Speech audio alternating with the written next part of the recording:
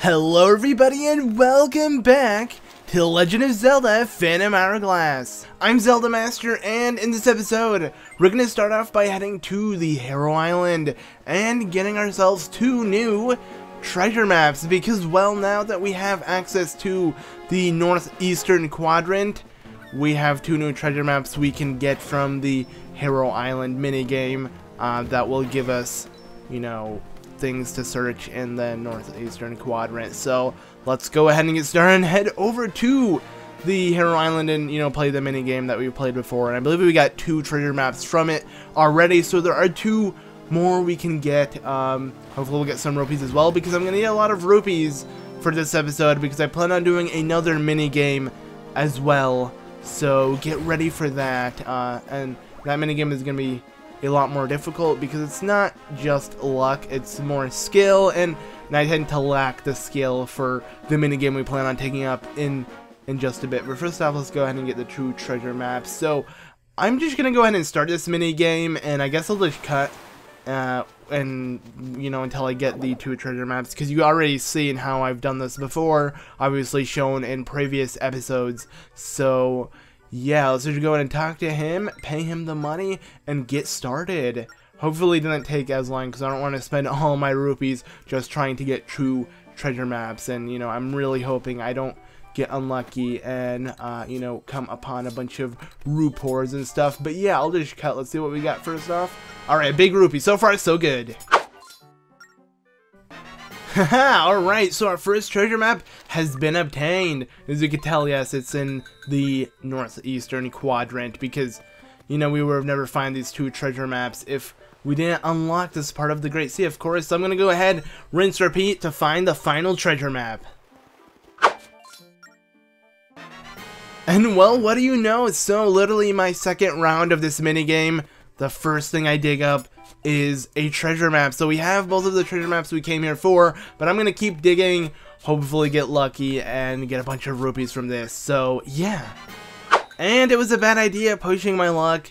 Uh, I shouldn't have overstayed here because I have less rupees than I started out with. So yeah, but who cares? Um, 300 rupees will be enough for what I plan on doing in this episode. And as I said earlier, I want to do a mini game, obviously after the one we just did right now. And that was to get those two treasure maps. But now that we are heading to the northeastern part of the Great Sea, we shall be taking on a new mini game. And this mini game is a pretty long one. So yeah, get ready for that. Uh, I am kind of nervous to take this one on because it's a little difficult, but as I say that, I, I do really fine, because I said the same thing for the previous um, Temple of the Ocean King run, and I did really well on it, so yeah, I, I guess I just remember this to be something really difficult, uh, but it's not really, because, you know, I got used to it and stuff, and I'm the Zelda Master and all, and, and I hate saying that and stating that in videos, so I'm just gonna stop, and let's, let's roll on with the video, guys. Let's go ahead over to the Traveler ship, so we're gonna go ahead and talk to the Man of Smiles once again, and, uh, you know, get something from him, because we have, have done him quite many favors, not really. Uh, I believe he gave us a really cool item, and it started a whole trading sequence, and stuff, and that was cool and all, but if you go ahead and head to the ship again, he will have enemies on it like before, and uh, if you kill him, he'll give you he'll give you something pretty cool. If you kill the enemies, of course, not the Man of Smiles. That will that will not have him uh, smile anymore. He will be the Man of Frowns, or the Man of Frown, or the Dead Man of Frown, because he will be dead and can't really kill people like that in the game, but whatever. I don't know where I'm going with this. Let's just go ahead and board the ship and get ready to fight off these baddies. So, yeah, looks like a nice place, but it really isn't. Filled with enemies. Alright, let's go ahead and do this. Uh, I believe I just want to stun the uh, Zora Warrior because he is going to give me the most trouble with him, you know, spitting fireballs and stuff, and he also can use his sword to attack you. So he has a good amount of uh, different abilities that he can use. You know, he's ranged and melee, which makes him a little bit difficult. We are the same actually because we have like certain items that will make us ranged, and we have a sword uh, for the melee attacks. Anyways, I believe if I head by that door, I will not be able to pick up this rupee because a small cutscene is gonna happen like right now. So it's a good thing I use my boomerang there. Anyways, hello there, man of smiles. Let's go and talk to him. So you have amazed me. I have not felt such blah blah blah. Uh, yeah, we are a pure-hearted individual. I believe that's what he said. So yeah, he's a man of smiles. Waha. Let's go and talk to him once more. I'm terribly sorry, but you helped me. Yes, yes, we have helped you. So he is going to give us a prize. It's a postcard. We can put it in the mailbox and we should receive something pretty cool. So very mysterious. Yes, it is. Uh, I'll take that and just leave. That's pretty much all we want to do now. And, um, yeah, I don't really plan on heading to these two islands we marked earlier before. I actually want to locate an Uncharted island that holds a minigame that I was speaking of earlier. So let's go ahead and start sailing to the north and hopefully I can find the golden frog that should be around this location that will allow me to teleport to, you know, this area anytime I want to. So if I find him, I'll be sure to stop and, uh, you know, just hit him with a cannonball if, if he doesn't mind. And, oh crap, there are some sharks lurking by and the thing I hate about these enemies is they're really hard to hit because they, yeah, come really fast at you like that. Huh, I think I'm just gonna keep going because, oh, okay, they, they leave as soon as I decide to forget the frog because I didn't want to get hit by him anymore. But whatever, we'll come back for that golden frog. But anyways, let's go ahead and continue onwards until we locate the island. We should start seeing it, uh, I don't know how big the render distance, how far it is, rather. Uh, we can start to see it though right now. There is the island, and there are some enemies sighted, but we're just gonna ignore that and wait for Ciela to locate the island. Ciela, do you not see the island? Because we can't land on it unless it's, you know, jotted down on our sea chart, so they have to notice it. Hello? Look, look at the island. Okay, I have to maybe stop and hit go. I, I'm not entirely sure. Let's just go ahead and reroute our area and see if that does anything. There we go. Took them long enough. But yeah, and you can actually hear Ciela say, like, look! Like she would, or rather that same voice clip uh, would be in an Ocarina of Time. Um, but yeah, because Ciela wasn't your fairy in Ocarina of Time, it was Navi. So yeah, let's go ahead and head over to this mysterious island of sorts with a bunch of question marks and see what it will do for us. Uh, it looks like a pretty weird island, I must say. It's surrounded by walls. I don't know why every single island like sprouts out of the water like that, like out of the ocean. I don't know how you can even land. Like the dock is so low. How are you supposed to head up to the island itself? Obviously, that's just you know the sprite from outside. You know how the model looks. So this is a fascinating island, don't you think? Yes, I do. I definitely agree. Let's go ahead and see what we can do here. So there's a gossip stone. Let's go ahead and read this though. So Treasure Maze, Hall of Fame, currently blank. That sucks, man. What are we supposed to do? Well, we are going to fix it. So let's go ahead and hit this. Uh, gossip stone, boing! Okay, so welcome to the treasure maze. Shall we get started? Let's just click yes. And basically how this works is we're going to pay rupees to play this mini game where we have to hit a certain amount of gossip stones and make it to the prize in a certain amount of time. On beginner, and it looks pretty complicated as you tell. We have four gossip stones we have to hit in a certain amount of time, and you have to jot them down on your map because, yeah, you see how it shows you the locations on your map currently? They end up fading away like a couple seconds after. So you want to make sure you jot them down on your map so you know where they are. And I don't know why I hit this eye. You actually don't need to hit this. You can completely avoid that for now. Um, because this run, the beginner run, doesn't need that. So, yeah, we're just going to avoid it and continue on. The beginner is actually really easy, of course, because, you know, it is called beginner, but it does ramp up in difficulty as time goes on, and you want to make sure you take on every single round. I believe there's like beginner, normal, and expert. So yeah, expert is obviously the the most rewarding. You'll see what it is. Let's go ahead and hit the second one. Um, as you can tell, there's a time ticking in the background, and I think that's the most nerve-wracking part about this. Just knowing that once it starts ticking fast, you have like no time left. So you're just listening to the tick and hoping it you know stays at the same pace. Um, because there's no actual timer. And I want to hit this because we are playing beginner mode, so we have the most time and, you know, the least gossip stones to hit. So yeah, if you go ahead and hit that, uh, or rather put a bomb on that wall, you can easily pick up a treasure chest, which has a wisdom gem in it. So not too shabby, if I do say so myself. But anyways, let's go ahead and hit this one. And I believe that's all of them. So we hit all four. Now a chest appears. Now how to get these chests, what you want to do is head back to the area where we like jumping from platform to platform, which is like over here.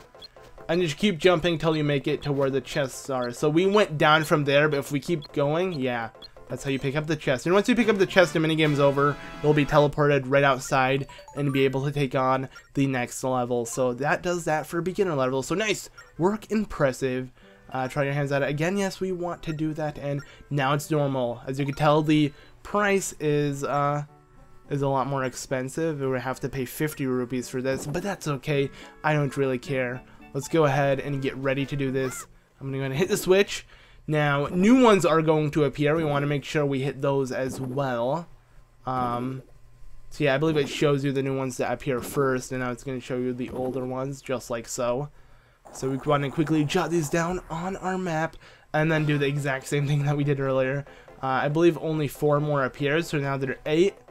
Not too difficult. Um, this one's also pretty easy, so I, I don't think I need to worry. Now, we actually want to hit this. Hopefully we can. Wait, that was weird. Okay. What the frick? Wait, what? Both of my arrows missed. Alright, so this mini game, I don't believe we can do it now without the arrows. That kind of sucks. I only had two more arrows on me.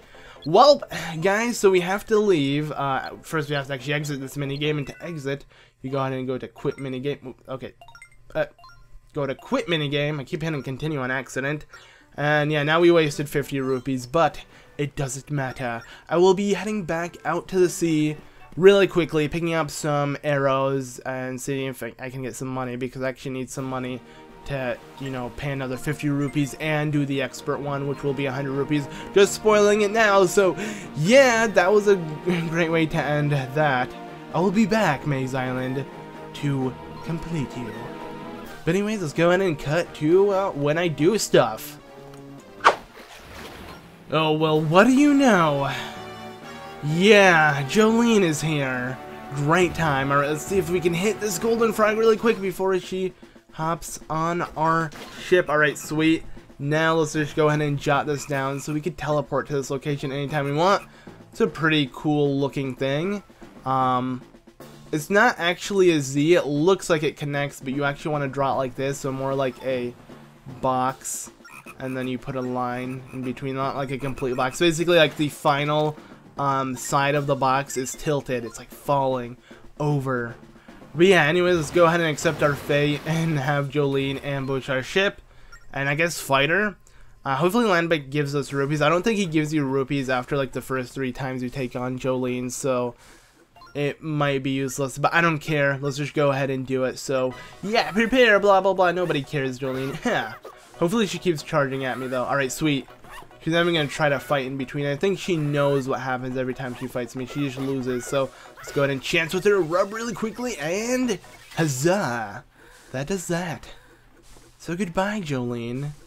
Because the music that plays here is really cool. I like it. It's like super subtle and nice. Um, sounds like something is is beating in the background. I don't really know what it is. Maybe it's like the ship engine and stuff. But who cares? Um, I just like it. Like, I never really noticed it until now. Anyways, onward with our adventure. I'm going to go ahead and teleport to Molida Island because I believe they sell arrows there. And I might head over to the um, traveler ship over there as well, like south of Molida Island, because he does give me treasure, and I could sell that to the treasure teller to get some rupees, because as you can tell, I'm really tight on rupees. So yeah, Let's go ahead and head over to Molida Island. And here we are at the local shop of Molida Island. So let's go ahead and buy some arrows. Man, 10 for 50 rupees. I believe I'm going to buy a set of two because 20 should do the thing. I, I'm pretty sure 20 is enough. But now we're going to need some more rupees, so let's go ahead and head over to that traveler ship and see if we can get ourselves some cool treasure. Okay, so here we are, and there he is, playing dead. Uh, I believe I want to take out the Zora Warrior first. I don't want to come near him because he's going to hit me. There we go. He's knocked out and spin attack twice. Surprised that two spin attacks actually killed him. I believe it's because of my enchanted sword of awesomeness. And, ooh, a red rupee. I actually need that. Alright, so, ow, uh. I find it funny how I only read that part of his dialogue and I ignore everything else because I just want the um, treasure. Let's see what he gives me this time. Really? Only two and it's pink coral and a Ruto crown? That's like the worst. I just want one. If he can give me just one Goron Amber, I'd be so happy. I don't know why he never gives that to me. It freaking sucks. Like, every single time I get Pink Coral, a Ruto Crown, or whatever else the other Ruto item is. I actually forgot what it was. But in general, I only can sell that for 50 rupees at the treasure teller. So, yeah, it's, it's not that good. None of those are good. Um, but it's whatever. I mean, at least it gives me free treasure, so I'm not... I, I mean, I was complaining, but I'm not going to complain anymore because I should be grateful. And yeah, we can come back to him every single day. I should do that. Even if I'm not recording that day, I should just head over to the traveler ship and, uh, nah, I don't really want to do that. I think it's a lot better if I show all of my progress you know, on screen throughout the Let's Play. I think that just make more sense. So, yeah, I guess, uh, you know, if I'm tight on rupees, I'm gonna have to record and stuff. But anyways, let's go ahead and sell all of our things. Uh, I don't really care. Yeah, he's only gonna buy it for 50. I feel really bad doing this because the uh, traveler ship at the, uh, I believe, southeastern part of the Great Sea, like, uh, where the telescope men of old wafering people are at, uh, they actually buy some of your treasure for a decent amount of rupees every certain day. It really depends on what they want. So I could sell it for really good rupees, but I'm, I'm kind of uh, tight here, so I'm just gonna do whatever I can, and let's go ahead and put this postcard in, so we are set. Now, back to Maze Island. I will be able to teleport to there easily now that we have the golden frog thing. So let's go ahead and do that really quick. I want to see if I can do it on my first try. Um, because I actually really like doing these, you know, frog slate things. Let's see. Alright, so we want to do that, that, and this. I have it tilted a little bit, but the game read it correctly, and I am safe to travel to another area. So, awesome! Let's go ahead and make our way to the Maze Island.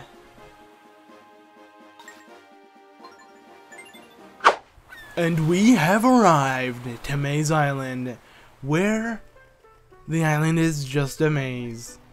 But it's a minigame as well, so yeah. Let's go ahead and talk to this guy over here, this Gossip Stone, and let him know that we are down. Uh, I don't know how many rupees I have. Oh wow, we have 413. That's pretty good actually.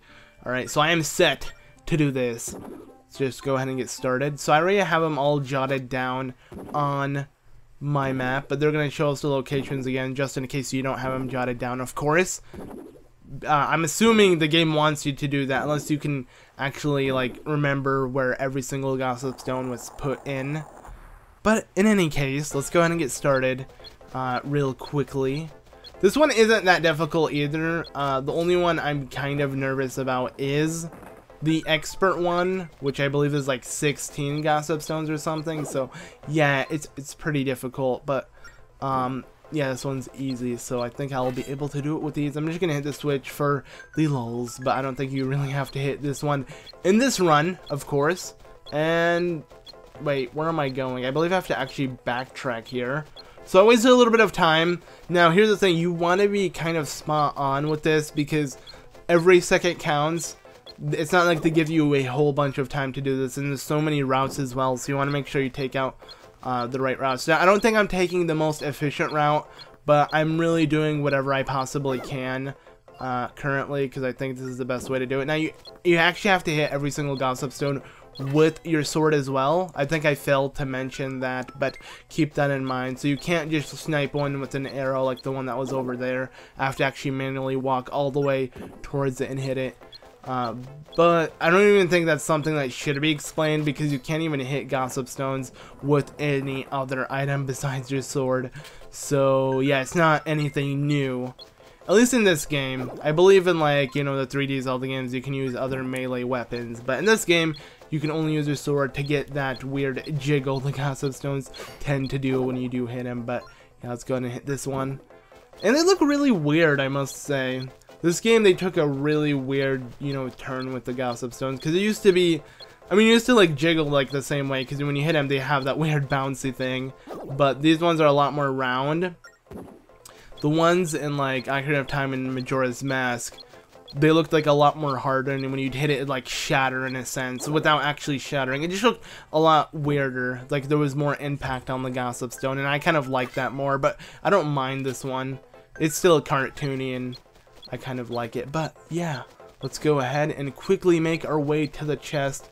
Uh, I think we're doing pretty good on time actually. So yeah, uh, let's see what this chest has to give us. And we get ourselves a treasure map. So the prize is ramping up. Not really, but still. So yeah, we are victorious for the normal round. Now it is time for expert. Now this one's 100 rupees. Good thing we have like 400 rupees in our bag. So we are set. Actually, only 360. And now, 260. So we got to do this. Now, I don't think I'm to do it in my first try. Um, because I don't actually know the most efficient route. I think it's like the exact same route, but I might do a, you know, quick run of this, map out where I should be going, and then and then show you guys how to do it. So I might just cut until I figure out the the most efficient way to do this. So yeah, I'm just gonna go ahead and quickly put these on my map and see how I'm supposed to do this. I'm not entirely sure because I can't really remember this one that well. Like I said, this one is kind of difficult, so we'll see how to do this. Now I'm gonna quickly um, just mess around and see what I can do. Okay, so this is my second time. I actually mapped out a route for this, and I think I can do it really easily. I'm pretty sure this route is the most efficient way to take it. Now, it's really scribbly and stuff, but I had to do it in a short amount of time. So I wasted 100 rupees just to try this out and map out my route, but I want to make it really easy for the video you guys are watching. So yeah, if you follow this route, you should be able to do it correctly. Obviously, I'm showing you in this video as well, just so you can get a better um, example on how to do this. And I believe I'm actually heading the wrong way. Let's not do that.